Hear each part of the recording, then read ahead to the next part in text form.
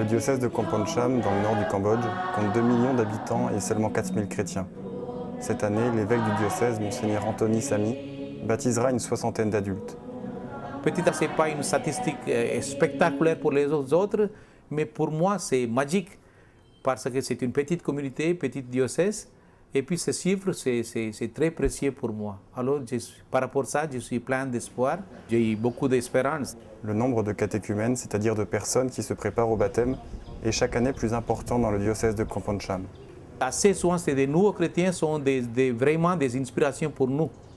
Alors euh, comme ça, aussi c'est une joie pour moi, pas pour, simplement pour partager ma foi avec des nouveaux chrétiens, encore plus pour, pour, pour enrichir de leur richesse, pour devenir un petit peu mieux dans ma propre vie.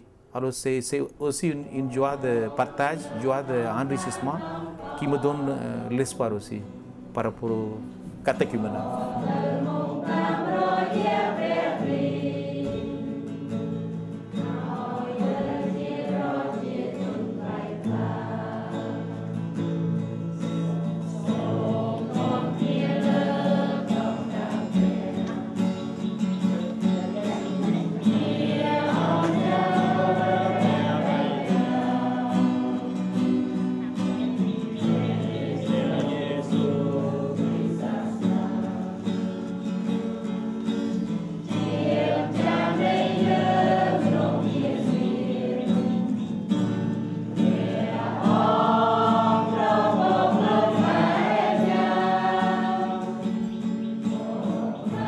De plus en plus de fidèles catholiques au Cambodge, c'est la réalité aujourd'hui.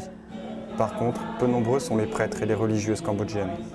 Maintenant, la priorité au Cambodge, c'est plutôt on cherche des chrétiens ici, et puis on, fait attention de ne pas euh, être trop nombreux des étrangers, soit prêtres, soit sœurs religieuses. Quelquefois, j'ai peur qu'avec notre présence, ça donne une impression comme si de, de la communauté locale n'a pas une responsabilité personnelle dans leur euh, vie quotidienne. Tout au contraire, il faut leur donner, donner davantage de dignité, responsabilité et honneur de construire leur vie par eux-mêmes. Monseigneur Anthony Samy est indien. Il est pourtant prêtre des missions étrangères de Paris depuis 14 ans. Aujourd'hui, quelques Indiens et Vietnamiens sont effectivement prêtres des MEP et sont envoyés en mission dans plusieurs pays d'Asie. Des prêtres asiatiques, missionnaires à leur tour.